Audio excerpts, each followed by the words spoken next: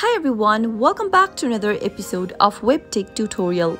In today's video, I'm going to show you how to log into Beldex wallet. Watch the video till the end and don't forget to subscribe to our channel by hitting that subscribe button. Press the notification bell so that you'll never miss another upcoming upload from us. To log into your Beldex wallet, first make sure to download the application on your mobile device.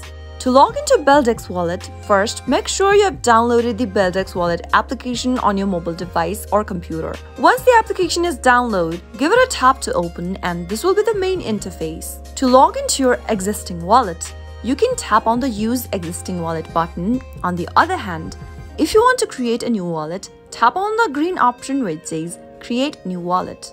Here, let me tap on Use Existing Wallet since I already have a wallet. Now, You'll need to restore your wallet from seeds or keys. Tap on this arrow, go ahead and set up a pin and then you have two options to begin with. You can restore your wallet from seed phrases or restore it from keys. In my case, I'm going to choose the first option. If you choose restore from seed, then you'll need to choose your seeds language and then tap next. Now enter or paste your seed phrases here in the correct order.